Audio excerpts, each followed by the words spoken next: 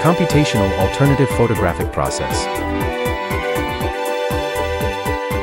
Cyanotype is a well-known method of printing photographs, however, it is limited to blue single-color printing. To remove the limitation of the monochromatic blue color, a coloring method called toning is used. For example, toning with jasmine tea makes the color a darker purple. Tricolor cyanotype is a method that can address this monochromatic problem. It consists of three colors, magenta, yellow, and cyan. The printing method mainly consists of seven processes. First of all, preparations such as boiling the madder in hot water are carried out. Next, a photosensitive paper is created.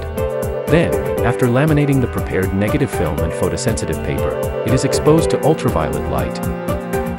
After exposure, the paper is placed in water for development.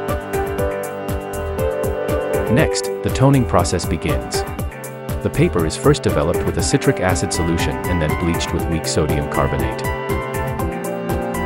Finally, only when printing magenta, coloring with madder root is performed.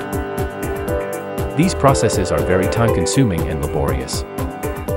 Therefore, we propose a novel UI that integrates computer processing. First, print a patch called TC2.83 in tricolor.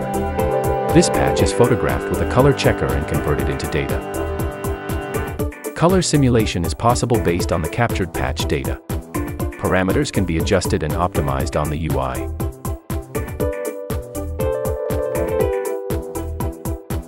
After working on the UI, the actual printing is done.